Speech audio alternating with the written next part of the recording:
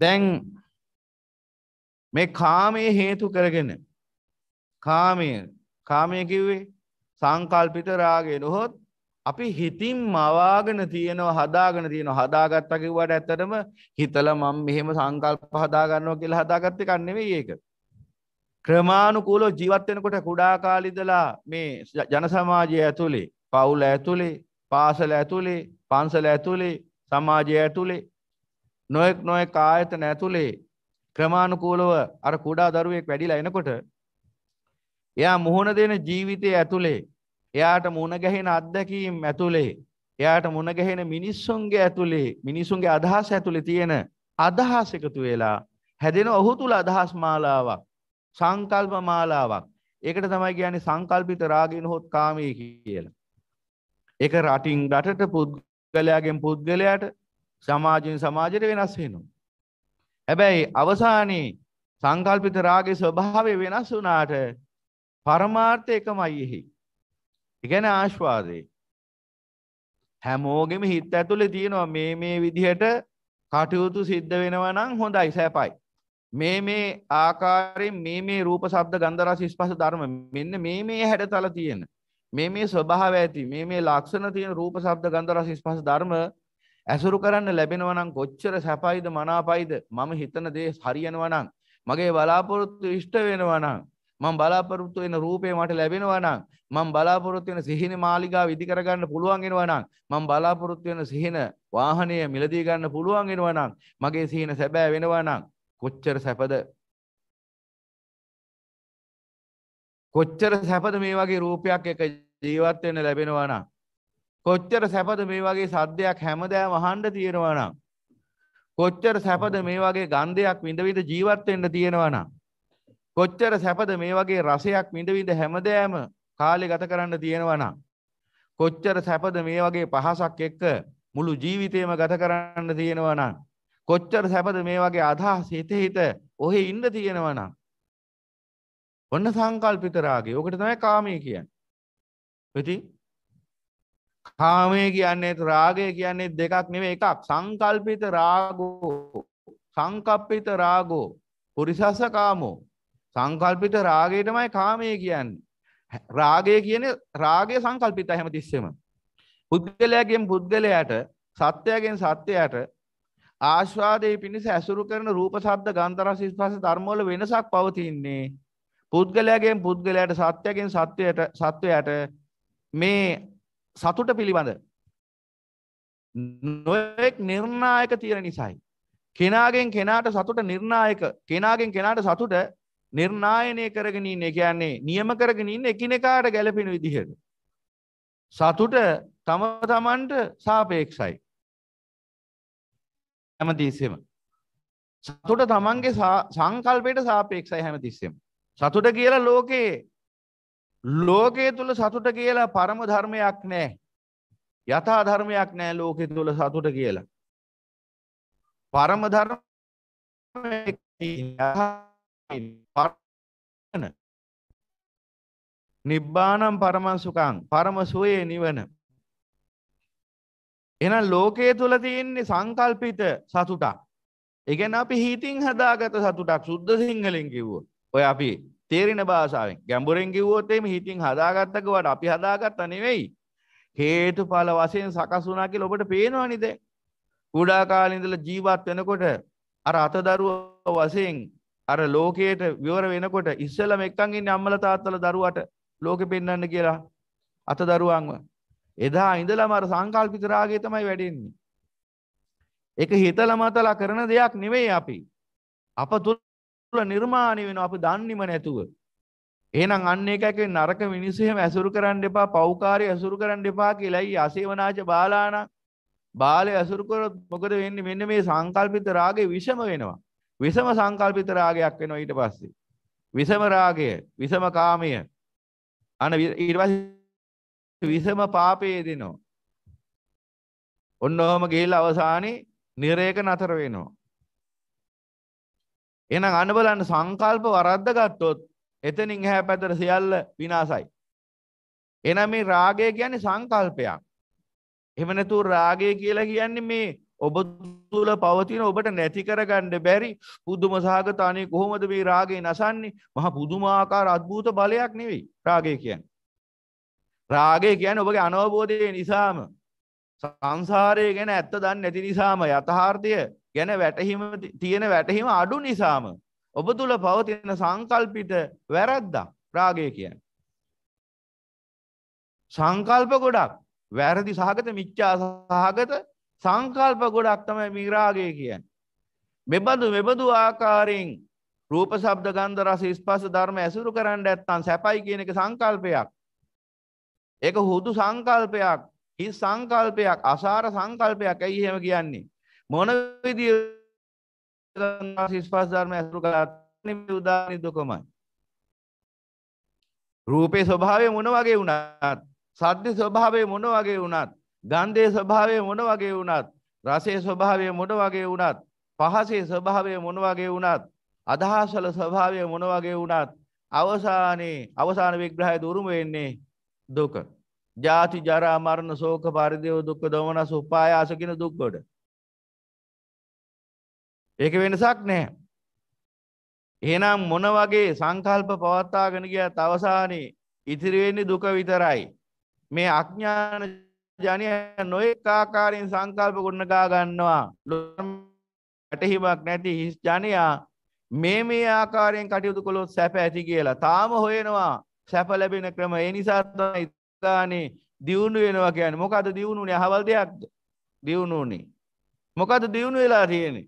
දියුණු වෙන්නේ තව දුරටත් ඇහැ නාසය දිව ශරීරයේ මනස පිනවන ක්‍රම ඒව තමයි දියුණු වෙන්නේ. තාම හොයනවා තාම හොයනවා තාම හොයනවා. මොකද සතුට? තාම හොයනවා සතුට.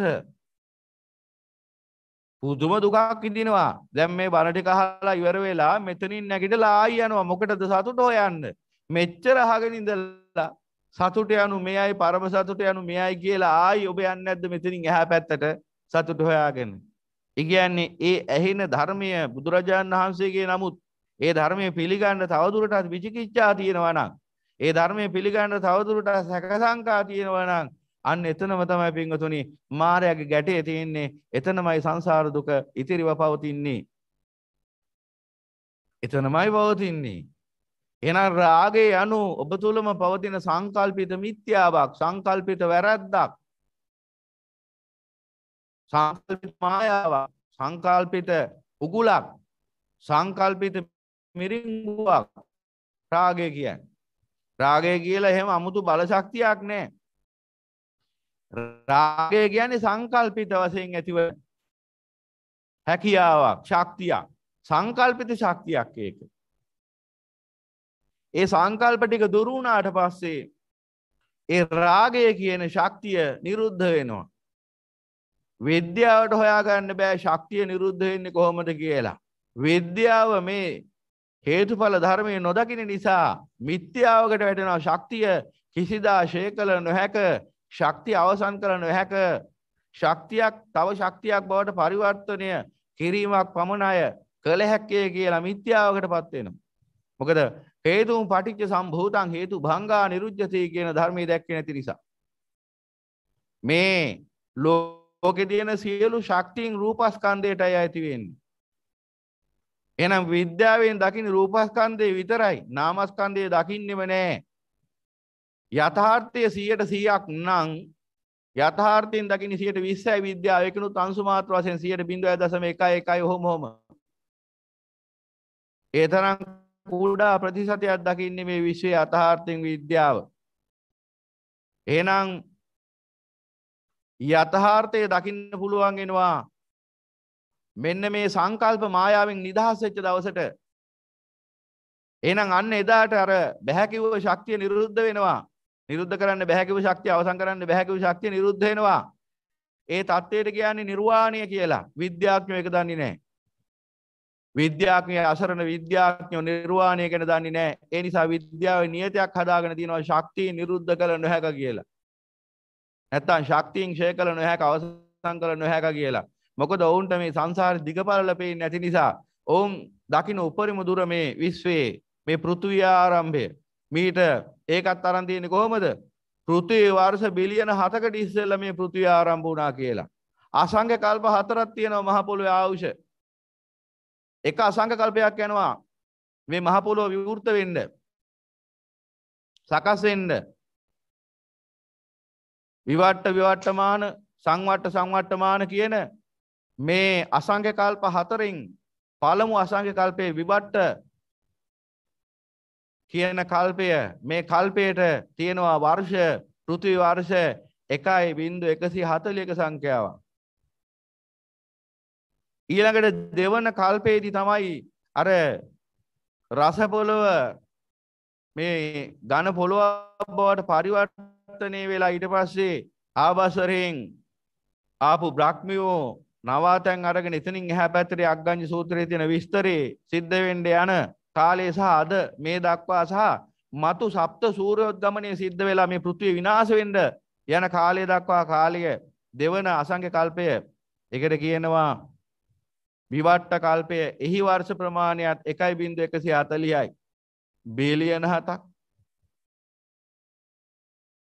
අන බලන්න කොච්චර ලාමකද කියලා මොන තරම් පොඩි දුරද දැක්කේ මොන තරම් පොඩි අංශු මාත්‍රයක්ද දැක්කේ ලෝකේ විද්‍යාව කියලා මේ අසිරිමත් වූ සම්මා සම්බුදු පියාණන් වහන්සේ නම් වූ මේ විශ්වයේ මහා අග්‍ර උතුමාණන් වහන්සේ පෙන්වා දෙන යථාර්ථය ඒ සදාතනික යථාර්ථය ලෝකෙ කිසි විද්‍යාවකින් පෙන්වන්න පුළුවන් යථාර්ථයක් නෙවෙයි. මොකද 100ට 100ක් යථාර්ථ විවෘත කරලා පෙන්වන ධර්මය. විද්‍යාවෙන් පෙන්වන්නේ 120යි. ස්කන්ධ පහක් තියෙනවා පැතුල. රූප වේදනා සංඥා සංකාර විඥාන. ස්කන්ධ පහෙන් හතරක්ම නාමස්කන්ධ එකයි රූපස්කන්ධ. ඒ රූපස්කන්ධයේ අංශු මාත්‍ර තමයි ඔය දැක්කේ සුද්‍රාෂ්ටකවල විද්‍යාව. ඔය ලෝකේ තියෙන සියලුම විද්‍යා. උතුජ රූපේහි විද්‍යාව. රූප හතරක් තියෙනවා. උතුජ ආහාරජ කම්මජ සහ චිත්තජ කියලා. එතනින් විද්‍යාවට දකින්න පුළුවන් උතුජ රූපේ ආහාරජ රූපේ විතරයි. කර්මජ රූපේ චිත්තජ රූපේ දකින්න බෑ විද්‍යාවට. කිසිම විද්‍යාවකට ලෝකේ තියෙන සියලු විද්‍යා ෆේල් මේ අස්තරමේ ඉස්සරහා. සියලු විද්‍යා නිකන් අර සාගරයක් ඉදිරියේ තියෙන නිකං අර ගව කුරවල තියෙන වතුර තියෙන වතුර වලවල් වගේ. සප්ත මහා සාගරයේ ඉදිරියේ තියෙන සප්ත මහා සාගරයේ වෙරළේ තියෙන ගව කුරවල තියෙන වතුර ටික වගේ විද්‍යා සම්මා සම්බුදුරජාණන් වහන්සේගේ ධර්මයේ අර සප්ත මහා සාගරය වගේ ඒ උපමාවිනුත් ගැලපෙන්නේ නැහැ ඒ උපමාවත් ගැලපෙන්නේ නැහැ එහෙම සම කරන්නත් බෑ නමුත් ලෝකයට මේක තේරුම් ගන්න යම්කිසි උපමාවක් කියනවා නම් අන්න එහෙම උපමාවක් තමයි කියන්න වෙන්නේ. ඒ නිසා විද්‍යාව කුමක්ද දැක්කේ සම්මා සම්බුදු සම්මා සම්බුදු පියාණන් වහන්සේ සියල්ල දැක්කා. එහෙනම් සියල්ල දැක්ක උතුමන් වහන්සේ ගැන විශ්වාසය තබන්නේ නැතුව කවරෙක් ගැන විශ්වාසය තබන්නද අපි? අන්නේ ඥානෙ ඔබට පහළ වුණා නම් ඔබ සෝවාන්. ඒ ඥානය ඔබට පහළ වුණා නම් ඔබ සෝවාන්. ආයේ බය වෙන්න එපා. සමහරු අහනවා සතර පායට වැටෙයිද නැද්ද කියලා වක්‍රාකාරයෙන්. වැටෙන්නේ නැහැ බය වෙන්න එපා. කවදාවත්. සම්මා සම්බුදු පියාණන් වහන්සේගේ ශ්‍රාවකයෙක් වුණා කියන්නේ ඉතින් සංසාර දුකෙන් ගොඩ ගියා කියන එකනේ. ආයෙ වැටෙන්නේ නැහැ සතර පායට බය වෙන්න එපා කවදාවත්. ඔබ ගමන් කරන්නේ ස්වර්ග මෝක්ෂ සම්පත්තිය කරාමයි මෙයින් මතු ජීවිතේ පවතින සැප විතරයි. සම්මුතික වශයෙන් ඔය මුණ ගැහෙන දුක් ගැහැට ඒවා මේ අංශු මාත්‍ර දුක් ඒවා ගණන් ගන්න තුට්ටුවකට. නම් බලන්න සියලු දුකෙන් අත මිදෙන ධර්මයේ නේද මේ? අමා ධර්මයේ මේ අමෘත ධර්මයේ මේ අමරණීය ධර්මය. මේ මරණයෙන් ඔබව නිදහස් කරන මුදවන අමරණීය ධර්මය. ඒ ධර්මයට මනාකොට කන් දෙන්නට ඕන. බුදුරජාණන් වහන්සේ මේ පෙන්වා දෙන ධර්මය නොදන්නා කමින් මේ සංකල්පිත රාගේ නොහොත් මේ කාමයට රැවටිලා මේ ලෝක සත්‍ය අර විදිහට සංකල්පයන්ටම රැවටිලා තමන් තුලම ගොඩනැගිච්ච සංකල්පයකට රැවටිලා දුක් විඳින තරමක් දැන් මීට ඉස්සෙල්ලත් මේ ලෝකේ ජීවත් වෙච්ච මිනිසුන්ටත් ওই වගේ සංකල්ප තිබුණානේ හිතවල. මෙහෙම ජීවත් වුණා නම් සැපයි මෙහෙම ජීවත් වුණා නම් සැපයි එහෙම ජීවත් වුණානේ මිනිස්සු. කො සැප විඳලද මලේ? දැන් සැප විඳින තැනක ඇති කියලා හිතනවාද? එහෙනම් මොකද්ද සැපේ කියන්නේ? මොකද්ද සතුට කියන්නේ? බලද්දි ඉන්නකන් ඉඳලා තියෙන දුක. මැරුණට පස්සේ තියෙන්නේ දුක. මෙලවත් 1000 පරලොවත් 1000 උන්නත් 1000යි මලත් 1000යි. එන මුළු මුළු සංසාරෙම මෙලවත් තියෙන්නේ 1000 නම් පරලොවත් තියෙන්නේ 1000 නම් ඒකේ තේරුම මුළු සසරෙම තියෙන්නේ 1000 කියන එකනේ. ඒ කියන්නේ තව කොතෙක් ඉස්සරහට ගියත් ඔච්චරයි කියන එකනේ සුද්ධ සිංහලෙන්. තව කොතෙක් කාලයක් දුක් විඳිනද මෙහෙම? එහෙනම් තව කොතෙක් කාලයක් නමුත් දුක් විඳින්න සලස්වන කාමයට ආශ්වාදයට ඔබ සැපයි කියනවද මින්මත් මින්මත්තේ? එහෙම කියන්නේ නැති පුද්ගලයෙක් නම් ඔබ සෝවාන් පුද්ගලයෙක්. සෝවාන් ආර්ය ශ්‍රාවකයෙක්. තර්කවාද කරන්න කාටවත් බෑයි. ඒ සෝවාන් පුද්ගලෙක් බුදුරජාණන් වහන්සේ දේශනා කරන්නේ අපි නෙවෙයි. බුද්ධේ ධම්මේ සංඝේ අවිච්ඡ ප්‍රසාදින් යුක්ත බුද්ධ ධම්ම සංඝ අවිච්ඡ ප්‍රසාදින් යුක්ත ආර්යකාන්ත සීලෙන් යුක්ත ශ්‍රාවකයා සෝවාන් පුද්ගලයෙක් කියලා අවශ්‍ය නම් එයාට ප්‍රකාශ කරන්නත් පුළුවන්. සංයුක්තය ආරම්භ බලන්න සූත්‍ර කීයක තියෙනවද කියලා. එහෙම ප්‍රකාශ කරන්න පුළුවන් කියලා ප්‍රකාශ කර කර බෙරයක් බැඳගෙන බඩේ ස්පීකර එකක් බැඳගෙන රටපුරා කියන්න ඕනේ මම සෝවාන් මම සකදාගාමි මම අනාගාමි මම අරිහත් කියලා. මොකටද කාගෙන්වත් සම්මාන ගන්නද? නෑ සම්මා සම්බුදුරජාණන් වහන්සේ දේශනා කළේ ඊට වඩා ගැඹුරු අර්ථයක්. ප්‍රකාශ ප්‍රකාශ කරන්න පුළුවන් කියලා කියන්නේ පිරිසක් ඉස්සරහා බැරල් එකක් උඩ නැගගෙන මෙගාෆෝන් එකක් අතට අරගෙන කියන කතාවක් නෙමෙයි මේ. මිනිස්සු ඉස්සර හුවා දක්වමින් කියන කතාවක් කියන එක නෙවෙයි ඒ ප්‍රකාශ කරන්නේ. ප්‍රකාශ කරන්න පුළුවන් කියන්නේ ඕන්නම් එයාට කියන්න පුළුවන් එහෙම. අපි කියන්නේ එහෙම. එයාට ඒ විශ්වාසය තියෙනවා කියන එක සුද්ධ සිංහලෙන් කියන්නේ. සතර අපායට වැටෙන්නේ නැහැ කියන විශ්වාසය ඒ සෝවාන් පුද්ගලයාට තියෙනවා. අවශ්‍ය නම් ඔහුට ඒක කියන්න පුළුවන් බය නැතුව කියලා ඒ කිව්වේ. එහෙම නැතුව මිනිස්සු ඉස්සරහා මම සෝවා මම සෝවා මම අරිහත්ජී කියන්න කියලා නෙමෙයි මේ කිව්වේ. එහෙනම් අන්න බලන්න.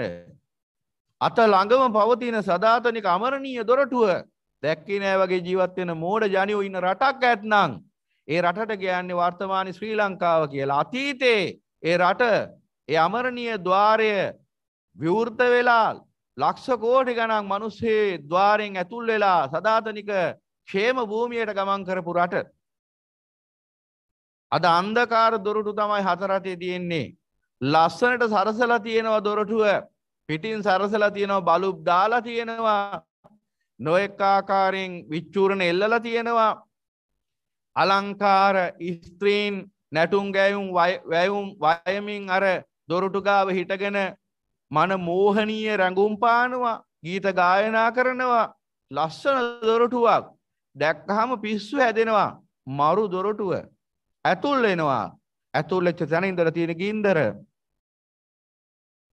එබඳු දොරටු කීයක් අද වෙනකොට මේ රටේ විවෘත වෙලා තියෙනවද නොඑක ආකාරයෙන්?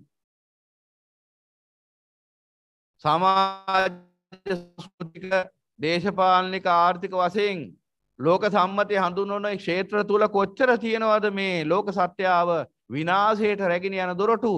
මේ අමරණීය ద్వාරය පිහිටිය රටේ. එසා පෙන්වතුනි අමරණීය ద్వාරය ඔබ ළඟමයි පවතින්නේ. ඔබ අසලමයි පවතින්නේ. අවබෝධය තුලින් තමයි දොරටු විවෘත කරගන්න පුළුවන්. වෙන කිසිම යතුරක් ලැබෙන්නේ නැහැ ඔබට. එකම යතුරයි ලැබෙන්නේ ඒකට කියන්නේ ප්‍රඥාව කියලා. ඒ ප්‍රඥාව කියන යතුරෙන් විතරයි මේ අමරණීය ద్వාරය විවෘත කරගන්න පුළුවන්. ඔබට ඕනනම් ලෝකේ නොඑක ආකාරයේ යතුරු හොයාගන්න පුළුවන් මෑණික් යතුරු, රත්තරන් යතුරු, දියමන්ති යතුරු, රිදී යතුරු, තඹ යතුරු, නොඑක යතුරු, යකඩ යතුරු, ලී යතුරු ඕන තරම් යතුරු. හැබැයි ඒක ඒ යතුරු ඒ එක යතුරකින්වත් විවෘත කරන්න බැහැ අමරණීය දොරටුව.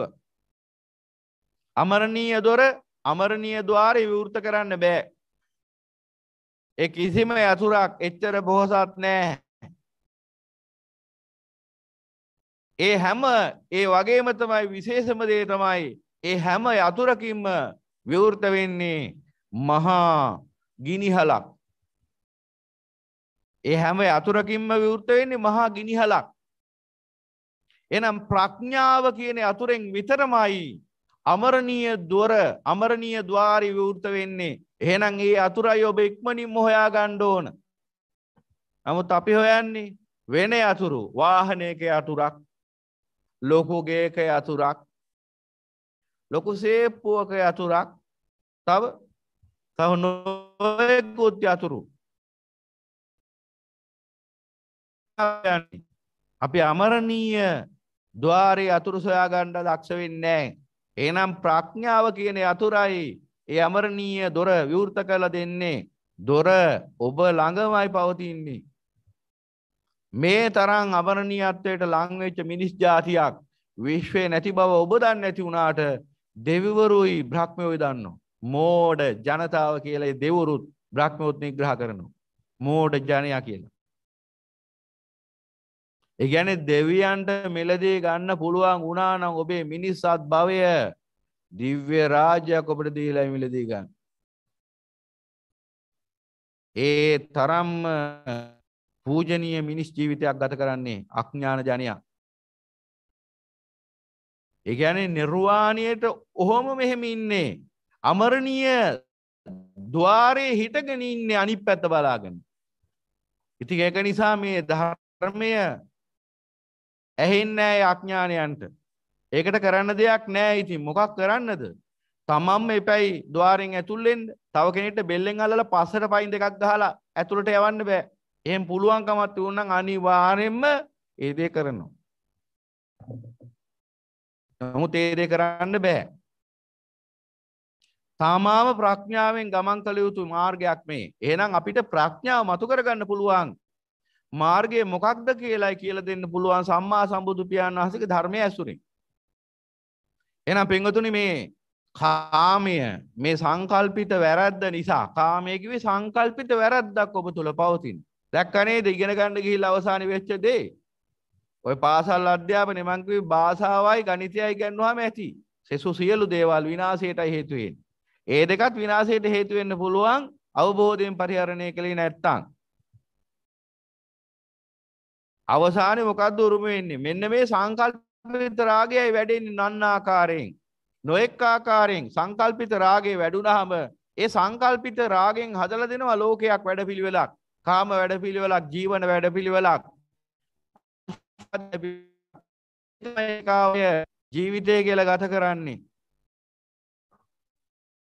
ඒ අවිද්‍යාවෙන් තෘෂ්ණාවෙන්ම හදලා දීපු කුටුම්බේ. අවිද්‍යාවෙන්මයි තෘෂ්ණාවෙන් ඕක හදලා දුන්නේ. මොකද භවය පවත්වාගෙන යන්න. අත්භවය පවත්වාගෙන යන්න. භව පුනර්භව ක්‍රියාවලිය යාවත් කාලීන කරගන්න. කර්මය නැවත නැවත ගොඩනංවන්න. කර්මය සමුදය කරගන්න. අවිද්‍යාවෙන් තෘෂ්ණාවෙන් හදාගත්ත වැඩපිළිවෙලක් ජීවිතය. දැන් ඒ බඳු ජීවිත ගත කරන මිනිස්සයෝ සතුටින්මද ඇත්තටම ඉන්නේ. සතුටින්මද ඇත්තට ඉන්නේ. සතුටින්මද ඉන්නේ කියලා දැන් බලමු අපි. දැන් දේශනා කරනවා. ඒ ගැන දැන් මේ කාමයේ ආස්වාදයේ පසුපස යන කෙනාට මෙලවදීම විඳින්න වෙන දුක් තුනක් ගැන භාගතුන් වහන්සේ දේශනා කරනවා. තිස්සෝ ඉමේ භික්කවේ දුක්ඛතා කතමේ තිස්සෝ දුක්ඛ දුක්ඛතා සංඛාර දුක්ඛතා විපරිණාම දුක්ඛතා ඉමේ කෝ භික්කවේ තිස්සෝ දුක්ඛතා ඉමා සංකෝ භික්කවේ තිස්සන්නං දුක්ඛතානං අභිඤ්ඤාය පරිඤ්ඤාය පරික්ඛාය පහනාය අරියෝ අට්ඨංගිකෝ මග්ගෝ භාවේ තබ්බෝ. මහන මෙන්න දුක්ඛතා තුනක් තියෙනවා. එකක් තමයි දුක්ඛ දුක්ඛතා. ඊළඟ එක සංඛාර දුක්ඛතා. ඊළඟ එක විපරිණාම දුක්ඛතා මේ ගැන මීට ඉස්සෙල්ලා දේශනා පවත්වලා තියෙන නිසා මේ වෙලාවේ කෙටියෙන් නම් කරන්නම් මොකද අදම බණහන කෙනෙක් හිටියොත් කාමයේ ආස්වාදයේ දුකයි කාමයේ ආස්වාදයේ සැපයි කියන මූලාවට රැවටිච්ච ලෝක සත්‍යයයි කාමයේ ආස්වාදයේ සොයනවා මේ සංකල්ප තුලින්. ඒ කියන්නේ සංකල්ප මගින් ඔහුව මෙහෙවනවා. ඉන්න දෙන්නේ එක තැනක. ඔබව අරගෙන යන්නේ සංකල්පව ලැජ්ජ වෙන්න ඕන. ඔබව තැන තැන ඇවිද්දවන්නේ නොඑක ආස්වාදයන් කරා රැගෙන යන්නේ සංකල්ප ටිකක්. දෙවියෙක් බ්‍රහ්මෙක් ආත්මයක් එහෙම නෙවෙයි. එහෙම දෙවියෙක් ආත්මයක් එහෙම නැත්නම් ਸਰව බලධාරී දෙවියෙක්ගේ නියමයක් එහෙම නැත්නම් මැවුම්කාරයෙක් මහා බ්‍රහ්මෙක් එහෙම නැත්නම් අපට නොබෙනෙන නොපෙනෙන අදෘශ්‍යමාන බලයක් එහෙම මොකුත් නැහැ. ඔබ මේ මොහොතින් මොහොත දුක කරා රැගෙන යන්නේ සංකල්ප ටිකක්. ඔබ තුල පවතින ලැජ්ජ වෙන්න ඕන කියලා බුදුරජාණන් වහන්සේ දේශනා කරන හරහා ඇති ලැජ්ජ වෙන්න ඕන. සංකල්ප ටික නිසා දුක් විඳින්න. කිසිම නිසා නෙමෙයි කර්මය නිසා නෙමෙයි. කර්මය නිසා දුක් විඳිනවා කියලා හිතන එකත් සංකල්පයක්. ඒකත් ඇවිල්ලා කාමයේම සංකල්පයක් ඒකත්.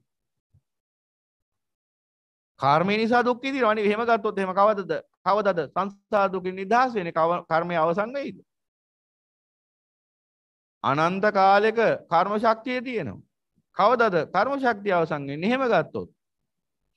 කර්ම ශක්තිය අවසන් වීමෙන් නෙවෙයි නිවන් දකින්නේ කර්ම භවයේ සකස් වීම අවසන් වීමෙන්. අන්න ඒක තේරුම් ගන්න ඕන. කර්ම භවය අවසන් වුණාම නැවත විපාක දෙන්න කෙනෙක් එතන නැහැ ඒ නිසා කර්මය අහෝසි වෙන්නේ. එහෙම නැතුව කර්ම ශක්තිය අවසන් වෙලා නිවන් දකින්නව නෙවෙයි. එතකොට තමයි අපි අර සසර ණය ගනුදෙනු පියවන්න යන්නේ. කර්ම ශක්තිය අවසන් කරගන්න කියලා හිතාගෙන. ප්‍රඥාවෙන් යා යුතු මාර්ගය අපි දෘෂ්ටි වලින් යන්න පටන් ගන්නවා ඊට පස්සේ කෙනෙක්ගේ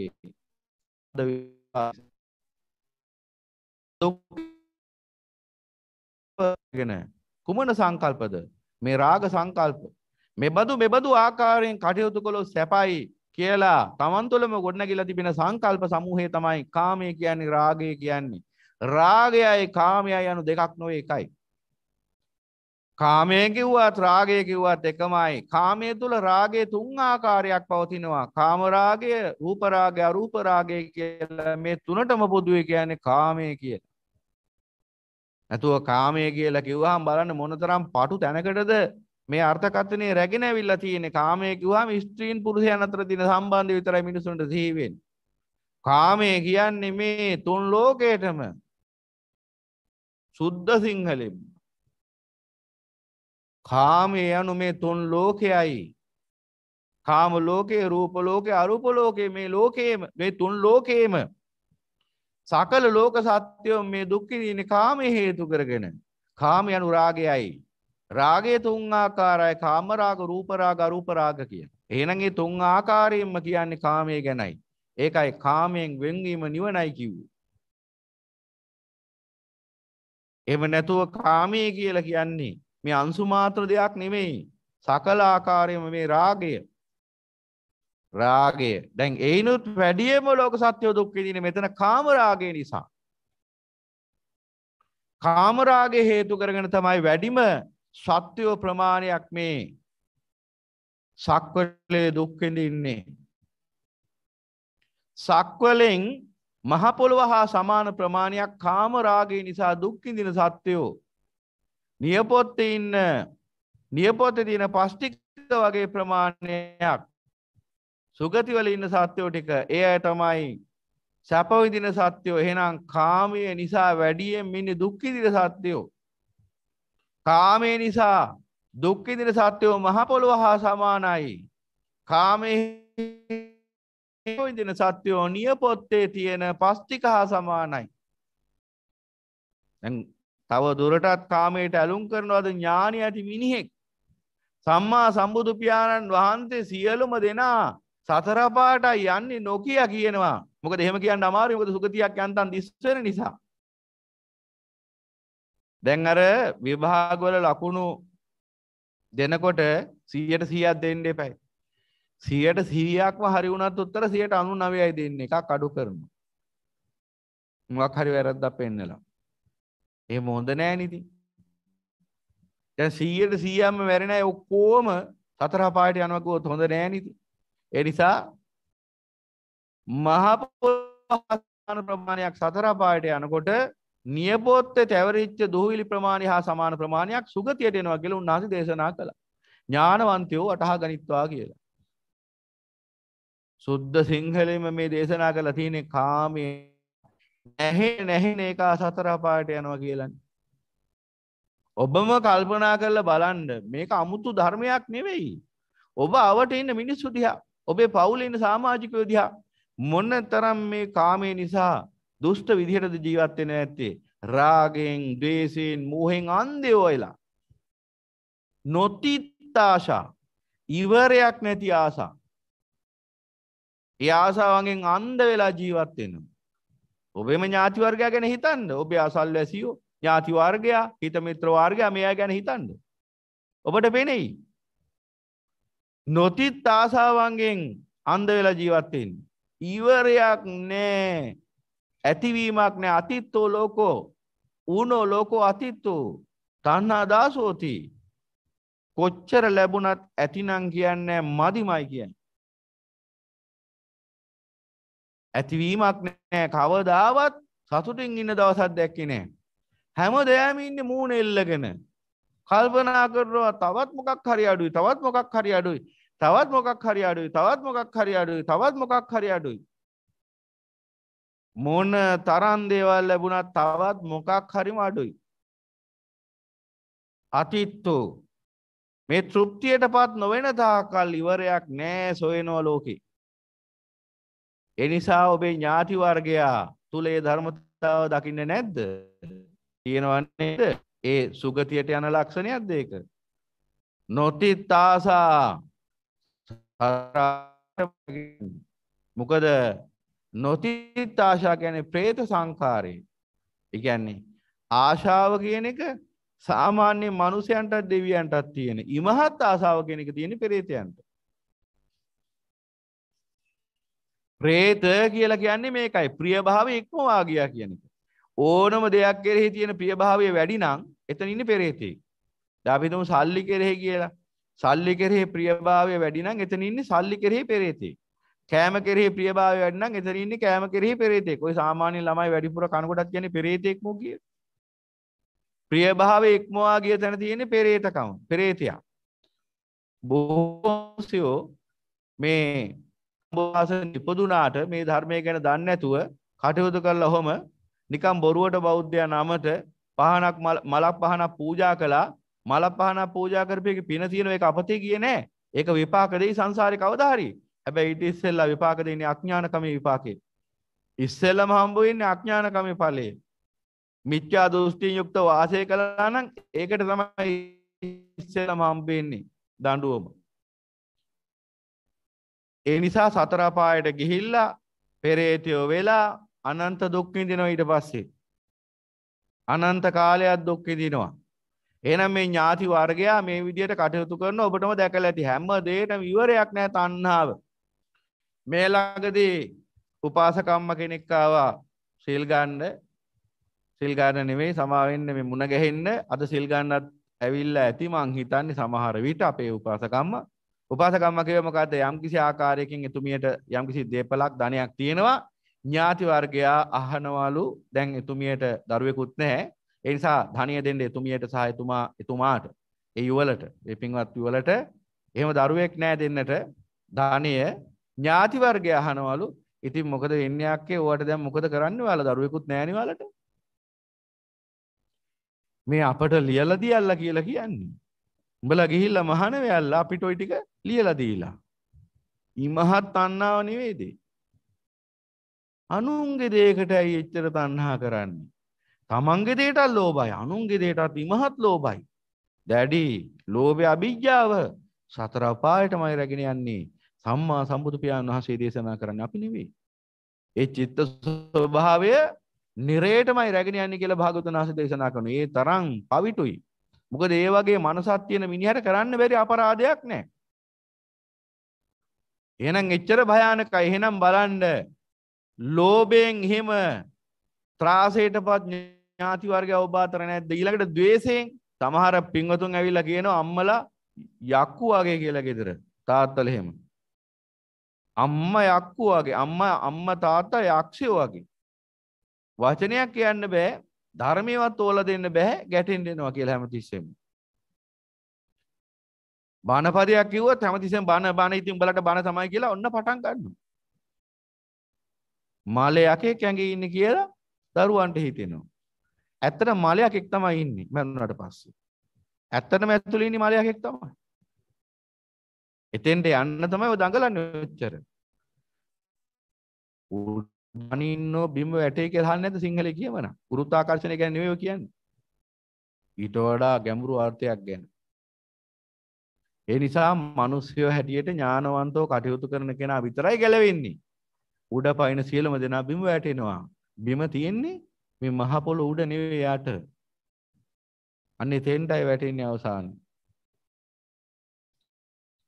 ඉතින් වියරු වැටිච්ච මිනිස්සු ඉන්නවා ගෙවල් වල. මොහේ මොහේ ඉහවහාගේ මිනිස්සු ඉන්නවා. පොඩි දෙයක් ලැබුණොත් සක්විති රාජ්‍ය ලැබුණා කියලා හිතාගෙන සතුටු වෙලා මහා අහංකාර වෙන්නේ. එහෙම මෝඩ මිනිස්සු ඉන්නවා. දිව්‍ය ආශ්චර්ය ගැන දන්නවා නම් මිනිස්සු කිසි කෙනෙක් තමන්ගේ තරම ගැන හිතලා සතුටු වෙන්නේ ලැජ්ජ වෙනවා. දිව්‍ය කාමයේ ගැන දන්නවා නම් මිනිස්සුયો දෙවරුන්ගේ කාමයේ දෙවරුන්ගේ සම්පත්තිය ගැන මිනිස්සු දන්නවා නම් මිනිස්සු ලැජ්ජ වෙනවා තමන්ගේ සම්පත්තිය ගැන තව කෙනෙක්ට කියන්නත්. එච්චර ධන ධාන්‍ය සැප සම්පත් තියෙනවා දෙවියන්ට. එච්චර ඉසුරුමත් දෙවියෝ. ඒ නිසා අපිට අහංකාර වෙන්න දෙයක් නැහැ. නමුත් මිනිස්සු අහංකාර වෙලා ඉන්න පොඩි පොඩි දේවල් වලට කරන රස්සාව ගැන සමහරව අහංකාර වෙනවා. මොන සංසාරේ රසා කීයක් කරලා තියෙනවද මේ වෙනකොට? ඔය කරන කරන රසාවක් ගානේ අහංකාර වෙවි හිටියේ ඔය මෝඩ මිනිහම කවදා හරි දවසක සංසාරේ අසුචි කර අසුචි කරත්තයකුත් අදින්න ඇති. එදා ওই විදිහටම හීනමානයටපත් වෙලා කානුවට බහැලා ජීවත් වෙන්න ඇති. ඒ තමයි මානි ස්වභාවය. ඥානයක් ඇති මිනිහෙක් කිසිවකට ආඩම්බර වෙන්නේ නැහැ මේ ලෝකේ අහංකාර වෙන්නේ නැහැ. මොකද අහංකාර වෙනවා නම් අහංකාර වෙන්න ඕනේ එක්ක රූපේට. එක්ක රූපය ගැන හිතලා. එක්ක වේදනාව ගැන හිතලා. එක්ක සංඥාව ගැන හිතලා. එක්ක සංඛාර ගැන හිතලා. එක්ක විඤ්ඥාන ගැන හිතලා. මේ පංච උපාදානස්කන්ධය ගැන හිතලයි සතුටු වෙන්න ඕන. වෙන සතුටු වෙන්න වෙනමයි කොටසක් නැහැ. එහෙනම් මේ පහම අනිච්ච හේතුඵල වශයෙන් සකස් වෙච්ච අනත්ත් ධර්ම අසාර ධර්ම ආත්මීය සාරයෙන් ශූන්‍ය හේතුවක් තිබිච්ච නිසා හේතුවක ඵලයක් වශයෙන් සකස් වෙච්ච සිතක් සහ කයක් සහිත ලෝකයක් මේ. එහෙම නැතුව ආත්මීය පුද්ගලයෙක් මේ සංසාරේ යනවා නෙමෙයි. පෙර භවයේ අවිද්‍යාවයි තෘෂ්ණාවයි පැවතිච්ච නිසායි අදත් මෙතන මේ දුක් විඳින සත්වයක් නිර්මාණය වෙලා ඉන්නේ. කර්ම ශක්තියෙන් පුරාණ අවිද්‍යා තණ්හා කර්ම ඊළඟට ආහාර නිබ්බන්ති කියන සියලුම ආකාරයෙන් මෙලව සහ පරලොව යන ආදී වශයෙන් දෙආකාරයෙන්ම සම්බන්ධ කරන තුන් ආකාරයකින් සම්බන්ධ කරන අතීත භාවය වර්තමාන භාවය අනාගත භාවය කියන තුන් ආකාරයෙන්ම මේ භවත්‍රය සංබන්ධ කරන පටිච්ච සමුප්පාද ක්‍රියාවලිය ක්‍රියාත්මක වෙනවා. අපි දන්නේ ඒ ගැන. එහෙනම් මේ යථාර්ථය නොදැන ජීවත් වෙන මේ ලෝක සත්‍යය මේ පටිච්චසමුප්පාද ගැන නොදැන මේ විදිහට කටයුතු කරනකොට මෙන්න මේ සංකල්පිත රාගය සැපක් කියලා හිතාගෙන කටයුතු කරනකොට මේ මායාවේ ග්‍රහණයට අහු වෙලා නිරන්තරයෙන් මේ සංසාරේ දුක් විඳින සත්‍යයේ බවට පරිවර්තන වෙමින් යනවා ගමන. ඒ බව දකින ඥානවන්තයෙක් කවදාවත් රූපයට, වේදනාවට, සංඥාවට, සංකාරයට, විඤ්ඤාණයට වටිනාකමක් දෙයිද? එසියල්ල කෙරෙන් නිදහස් වෙනවා හිතින්. ඒ කිසිවක් මම මගේ කියලා ගන්න පුළුවන් ධර්ම නොවේ. ඒ සියල්ල අනිච්ච හේතුඵල ධර්ම ඒ වගේ මේවා අනත්ත් ධර්ම ඒ වගේම මහා දුක්ඛ ස්කන්ධයක් ඒ සියලු ධර්ම. එහෙනම් සියල්ලෙන්ම හිත නිදහස් වෙනවා. අන්න එදාට පුළුවන්කම ලැබෙනවා. අතිශය පහසුවෙන් නිරායාසෙන් ආස්වාදයෙන් වෙන් වෙන්න. නැත්තම් පුදුම සහගත අමාරු වැඩක් නේ ආස්වාදයෙන් වෙන්වීම කියන එක. ආසාව පස්සේ හිත ලොහු බඳිනව නවත්ත ගන්න බෑ. හිත හීලෑ නෑ. හරිම මුරණ්ඩුයි කියලා හිත පස්සේ දුව දුව ඉන්නවා. අර සමනලෙක් අල්ලන්න දඟලන පොඩි ළමෙක් වගේ. හදිසියවත් ඔය සමනලයා ලස්සන්ට පියඹ පියඹ ගියොත් එහෙම ගිනි වලක් කරා මොකද වෙන්නේ? අවසානයේ ගිනි වලක තමයි පොඩි ළමයා නතර වෙන්නේ. ඒ නිසා පොඩි ළමයි ඇසුරු කරන්න එපා බාලයෝ. පඬිතුම වැඩිහිටියෝම ඇසුරු කරන්න. එසේ ඇසුරු නොකරපු නිසා බාලයෝ ඇසුරු කරන්න ගිහිලා සංකල්පිත රාගයේ වැඩිලා ඒ සංකල්පිත රාගයෙන් යුක්තවයි අදත් මේ මොහොතේ මේ ස්ථානයේ දුක් විඳින සත්වයක් වශයෙන් ජීවත් වෙන්නේ. කවදා හරි දවසක මේ සංකල්පිත රාගය තමන්ගේ මනසේ වැඩෙනකන් පවතිනකන් දුක් විඳින සත්වයක් නිර්මාණය වෙනව නවත්තන්න බෑ මේක අනවරත ක්‍රියාවලියක්. මේක නවත්තන්න පුළුවන් එකම ක්‍රමයකට විතරයි. ඒ මේ විශ්වයේ අසිරිමත් වූ සම්මා සම්බුදු පියාණන් වහන්සේ නම් වූ මහා ශාස්ත්‍රතුමන් වහන්සේට කන් දීමෙන් විතරයි. උන්වහන්සේ කියන අති සූක්ෂම ක්‍රමවේදයට අනුකූලව කටයුතු කිරීමෙන් විතරයි මේ ජරා මරණ සහිත අනවරාග්‍ර සසර දුක් ප්‍රවාහය නතර වෙන්නේ. වෙන කිසිම කෙනෙක්ට නතර කරන්න බෑ. උන්වහන්සේට විතරමයි මේක කරන්න පුළුවන්. උන්වහන්සේමයි අපිට ක්‍රමය කියලා දෙන්නේ. ඒ නිසා ඒ ධර්මයට යමෙක් මනාකොට කන් දුන්නා කියන්නේ ඒකාන්තයේ මේ ජරා මරණ සහිත සංසාරයෙන් නිදහස් වෙලා අජරාමර වෙනවාමයි. අමරණීය වෙනවාමයි. ඒ අමරණීය වරම උරුම මිනිස්සු ඔබ. දැන් අපි කතා කරමින් ඉන්න එතකොට මේ කාමයේ ආදීනව ගැන. එතකොට මේ කාමයේ ආදීනව සංකාර දුක්ඛ දුක්ඛතා සංකාර දුක්ඛතා විපරිණාම දුක්ඛතා කියලා දුක් තුන් ආකාරයකින් පවතිනවා. මෙලොව වශයෙන්ම කාමයේ නිසා විඳින්න සිද්ධ වෙන දුක්. සංකාර දුක්ඛතා කියලා කිව්වේ ජීවත් වෙන්න දරන දුක. නිකම් බෑනේ ආස්වාදයේ සතුට විඳින්න. ඒකට වැඩපිළිවෙලක් හදාගන්න එපැයි. ඒ වැඩපිළිවෙල හදාගන්න නිකම් බෑනේ. ඒකට ඉගෙන ගන්න ඕන, රස්සා කරන්න ඕන, ව්‍යාපාර කරන්න ඕන, සල්ලි හොයන්න ඕන, තව දහසක් නොයෙකුත් ආයතනත් එක්ක කටයුතු කරන්න ඕන. යනාදි වශයෙන් තියෙනවා නොයෙක් ආකාර. ඊට ඉස්සෙල්ලත් පැහැදිලි කරපු නිසා මම එකෙන් කියන්න යන්නේ නැහැ. නොවැටහෙන තැනක් තිබුණොත් ප්‍රශ්න කරන්න පුළුවන් අවසානයේ. එතකොට එහෙනම් මේ සංඛාර දුක්ඛතා කියන්නේ මේ කාමයේ නිසා විඳින දුක ජීවත් වෙන දරන දුක මොන දුකක්ද විඳින්නේ? සමහර මිනිස්සු ඉන්න එදා වේල කා ගන්න බැරුව බොහොම අමාරුවෙන් දුකසී. ආස්වාදයේ තබා ජීවත් වෙන්නවත් හැටියක් නැහැ. එදා වේල කණ්ඩක් නැහැ. ඒ තරම් දුක් විඳිනවා ජීවත් වෙන්න. ඒකට කියනවා සංඛාර දුක්ඛතා. මිනිසෙට පුළුවන් තාම මිනිසෙට ගිහලා අත්පාලා මට බඩගිනි කියන්න. අසරණ සතෙක් කොහොමද ඒක කියන්නේ කියන්නේ.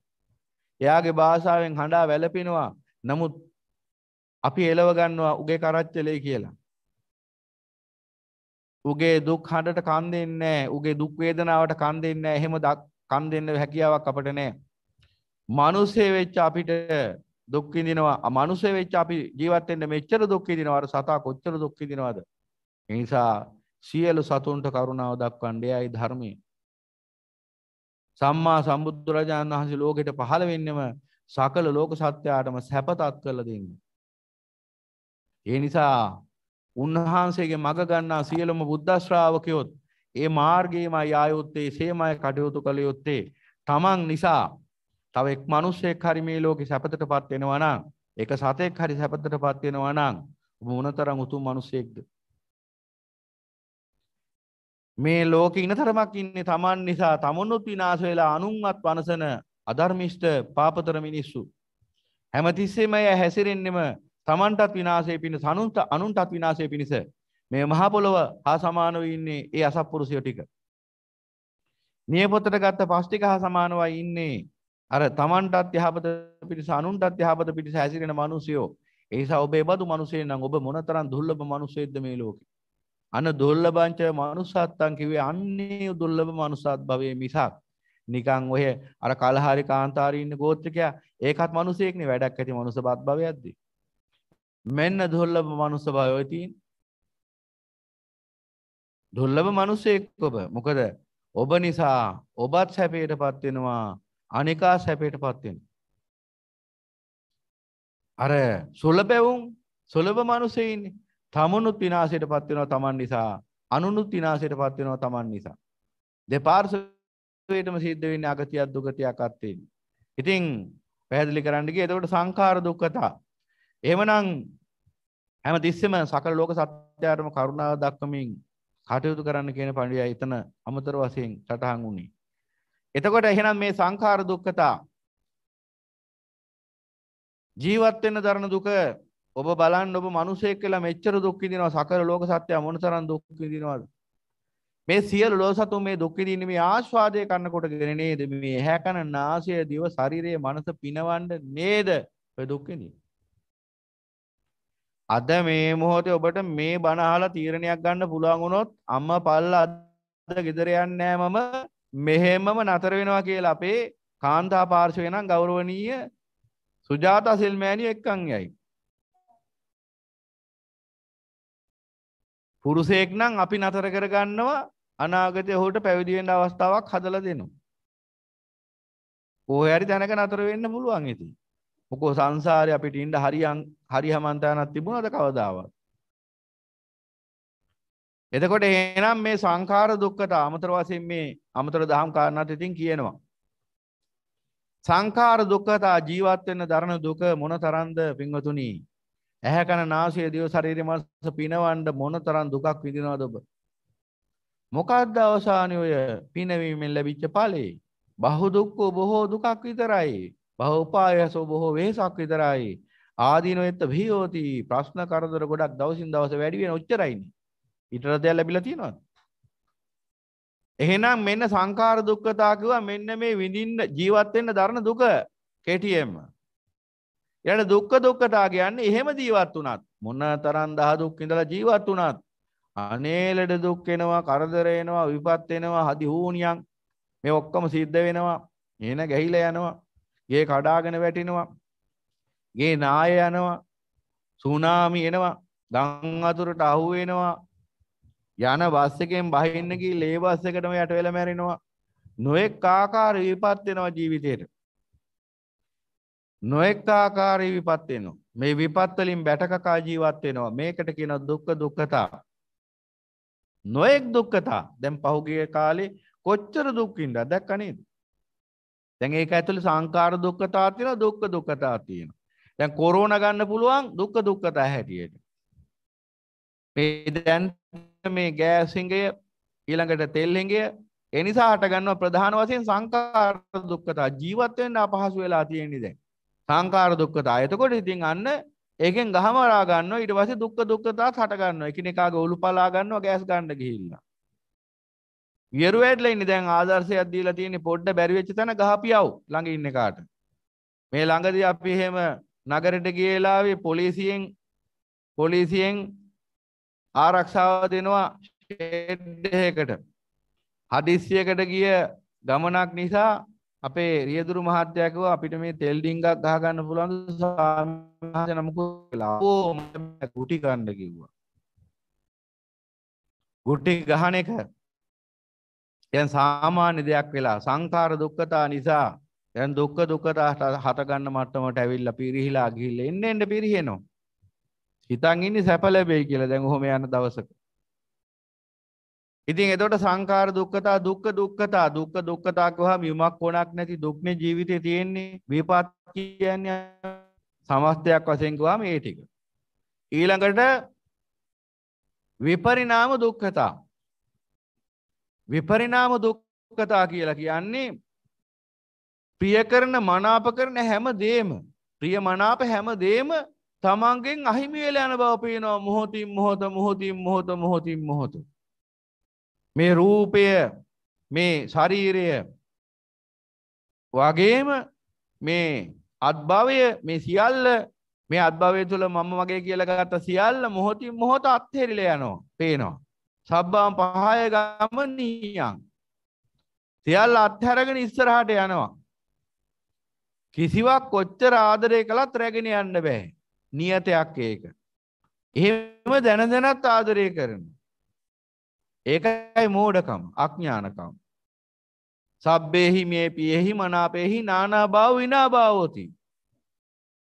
අර ප්‍රියමනාප කියන හැමදේම නොයෙක් භාවයන්ට කියන අන්න ස්වභාවයකට අඤ්‍යතා භාවී කිව්වේ නොයෙක් නොයෙක් ස්වභාවයන්ට පත් වෙනවා.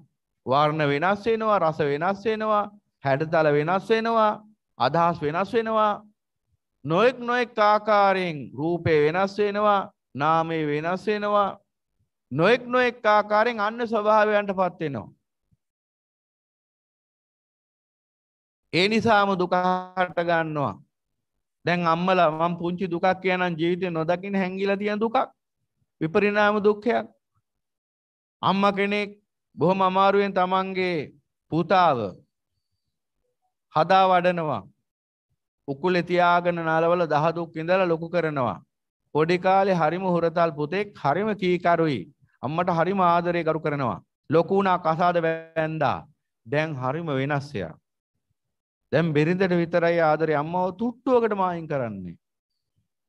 අම්මව තුට්ටුවකට මායින් කරන්නේ වෙනද අම්මා කෑවද කියලා අහලා තමයි කන්නේ. දැන් බිරිඳගෙන් අහන්නේ වා කෑවද කියලා අම්මගෙන් අහන්නේ. තව අම්මගේ ලෙඩ දුක් ගැන සැලකිල්ලක් නෑ අම්මා කිව්වොත් එහෙනම් මට පුතේ හරි අමාරුයි මගේ කැස අනේ අමාරුයි තාත්තේ සල්ලි නෑනි. වෙනද කිව්වොත් එහෙම අනේ මගේ නිකන් පපුව රිද්දෙනවා වගේ යන් යන් දැම්ම දාමු channel එකක්. අම්මට මේ ඔක්කොම පේනවා. අම්මට කියා ගන්න බැරි දුකක් හිත ඇතුලේ තියෙනවා. අන්න විපරිණාම දුක්ඛයක් තියෙන එතන. අර තමන් ප්‍රිය කරපු කෙනා වෙනස් වෙලා අන්‍ය ස්වභාවයකටපත් වෙලා අන්න හටගත්ත මහ දුකක් එතන. කොහොම දුක් කීයක් තියෙනවද හැංගිලා තමන්ගේ ජීවිතේ? මේ හැම දුකක්ම එකෙන් එක ගලවලා අයින් කරන්න ගියොත් එහෙම අර විදුලි බුබුලු ලක්ෂයක් විතර තියෙන ගෙදරක ලයිට් එකෙන්ක නිවන්න ගියා වගේ. ඊට වැඩිය හොඳ නැද්ද මේන් ස්විච් එකෙන් වහලා දැම්මාම කාමයෙන්ම වෙන් වුණාම සියලු ප්‍රශ්න ඉවරයි එදාට. මෙලොව දුකත් ඉවරයි, පරලොව දුකත් ඉවරයි, සංසාර දුකත් ඉවරයි, සදාතනික නිවනයි එතන. අන්න එතනයි නිවන තියෙන්නේ. එහෙනම් දැන් ඔය කිව්ව සංඛාර දුක්ඛතා, දුක්ඛ දුක්ඛතා, විපරිණාම දුක්ඛතා ඔබේ ජීවිතේ කොච්චර තියෙනවද කියලා දැන් නුවණින් කල්පනා කරන්න. එතකොට පේන්නේ ඔබට කාමයේ ආදීනව. ඊට පස්සේ ආයෙ අහන්න එපා නිවන් දකින්න මොකද කරන්න ඕන කියලා. දැන් ඔය කිව්ව සංඛාර දුක්ඛතා ඔච්ච කොච්චර තියෙනවද? ඒ කියන්නේ සුද්ධ සිංහලෙන් ඇහුවොත් ඔබ ජීවත් වෙන්න කොච්චර දුක් විඳිනවද? මේ ඇහැ කන නාසය දිව ශරීරය මනස මනස පිනවමින් මේ ජීවිතේ පවත්වාගෙන යන්න ඔබ කොච්චර දුක් විඳිනවද? සංකාර දුක්ඛතා. ඒ ජීවිතය ඇතුළේ නොයෙක් කොච්චර විපත් වලට මුහුණ දෙනවද? ඒ කියන්නේ දැන් කවුරු හරි කෙනෙක් Tamanට දරුණු වචනකින් බෑන්න කියමුකෝ. ඒකත් දුක්ඛ දුක්ඛතාවටයි ඇති. ඒ කීයකට මුහුණ දෙනවද? බානියෝ වගේ විතරක් නෙමෙයි. කොයිතරම් හිංසා පීඩා සහිත ජීවිතයක්ද මේ ගත කරන්නේ ලෝක සත්‍යයක්. මො කොයිතරම් දුක් විඳිනවද ජීවිතවල?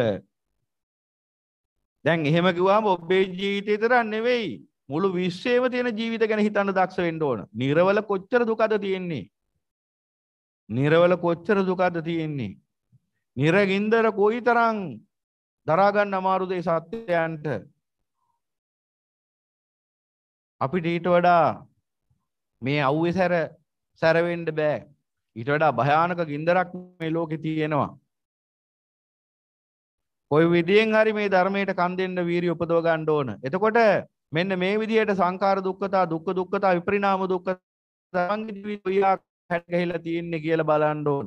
එතකොට ආයි ඔබට අමුතුවෙන් ආයි කාමයේ ආදීන දකින්න දෙයක් නැහැ. ඔබ තුලින්ම ධර්මයේ දකින්න ඔබ. ඔබ තුලින්ම ධර්මයේ දකින්නවා ඔබ. ඒක තමයි ධර්මයේ සම්දිට්ඨිකෝ කියන ගුණය. ධර්මයේ සම්දිට්ඨික ගුණය කිව්වේ ඒකයි. තමන් තුලින්ම දකින්නවා ධර්මය. ආස්වාදී විපාක තමන්ටම දකින්න පුළුවන් තමන් තුලින්.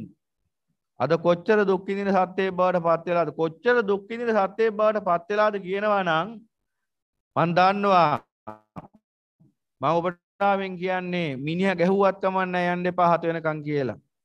කියන්න පුළුවන් අනේ හාමුදුරනේ මනුස්සයා බීලා ඉන්නේ මම යනකොට මට අල්ලගෙන තඩි ගහන්න පුළුවන් සතුටු වෙන්න. ඔබ නරක වැඩක් කළා නෙවෙයි යන්නේ. සම්මා සම්බුදුරජාණන් වහන්සේගේ ධර්මය අහලා පිරිසිදු වෙලා ඒ පෞකාර මනුස්සයා කරගන්න පාපයට ඔබ මොනව කරන්නද? ඒ නිසා මේ දුක අවසන් කරන්න තීරණය කරන්න. දුක පවත්වාගෙන යන්න මෝඩ වෙන්න එපා. මේ මෝඩකමට විපාකේ වසර කෝටි ගාණක් තිස්සේ ගෙවලා ඉන අතර වෙන්නේ අවසානයේ. සුළුපාට විපාකයක් නෙවෙයි ගත කරන්න වෙන්නේ. ගෙවන්න වෙන්නේ. දිව්‍ය ලෝකෙ හිටියත් මතක තියාගන්න එතන තියෙන්නේ පීඩාවක්මයි, පෙලීමක්මයි, අසහනයක්මයි. දෝමනස දුක්ඛ දෝමනස උපායාස සියලු දුක් ටික අයිති එතනටත්. සියලු දුක් අයිති කොච්චර දිව්‍ය කාමයේ තිබුණත් දෙවියන්ටත් දුක්ඛ දෝමනස උපායාස හට ගන්නවාමයි. ශෝක පරිදේව දුක්ඛ දෝමනස උපායාස හට ගන්නවාමයි දෙවියන්ටත්. මිනිසුන්ට වඩා දරුණුවට හට ගන්නවා. දැන් ඔබට තියෙන්නේ කපුට්ටු ඉගිලෙන ගේ කබලා. කපුටු ඉගිලෙන ගේ කබලා. ඕක ඇතුළෙන් කපුටොත් යන මොකද වහල කැඩිලා. වහලත් හොඳටම දීරලා. ගේ ඇතුළෙම තියෙන්නේ අර ලබු කබලයි බොංචි මුට්ටියයි බොංචි ඇට මුට්ටියයි ඇඳ කබලයි වැහැරිච්ච අර කළු පැහැති සිරුරක් ඇති කළු විරූපී කාන්තාව යෝගයේ ඇතුළෙම තියෙන්නේ. ඔයගේ අත අරගණ්ඩත් බැහැනී කියලා බුදුරජාණන් වහන්සේ දේශනා කරනවා වීරිය සුන් එච්ච මිනිහාට. ඉතින් ඒ වගේ ගේ කබලක් අතරගන්න බැරුව අපි මාණික්‍යයන්ගෙන් දියමන්ති වලින් හැදිච්ච දියමන්ති මාලිගාවක් අත්හරින්න කැමති වෙයිද? ඔය කනේ තියෙන කරඹුව කවුරු හරි දැන් ගලව ගත්තොත් එහෙම මහා දුකක් හටගනි. තමගේ වස්තුව පැහැරගත්තා කියලා. පුංචි දෙයක්.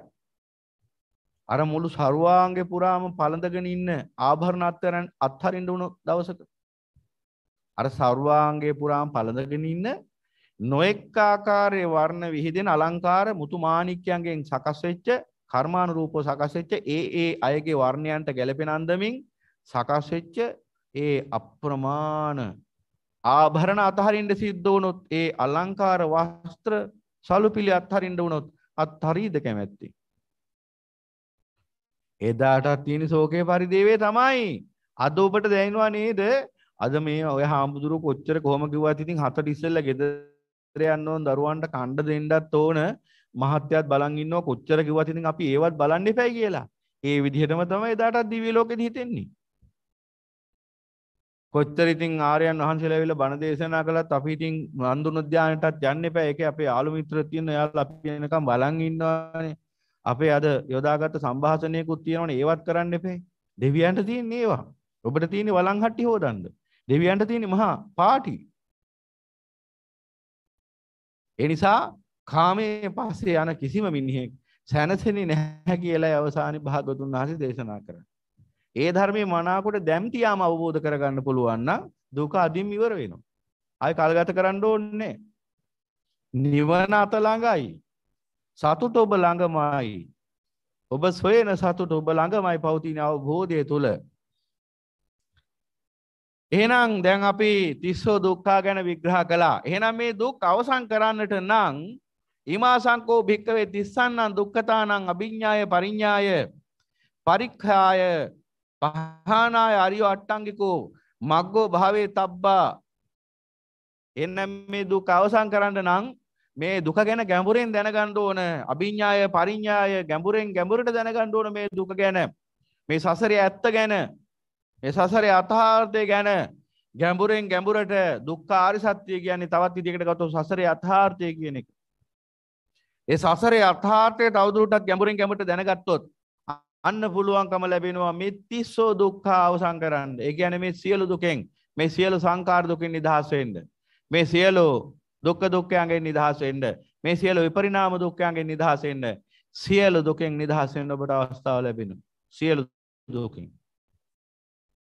එහෙනම් ඒ දුකෙන් නිදහස් වීම තමන් ප්‍රඥාවෙන් ගත යුතු තීරණයකට අනුව සිදුවන්නක්.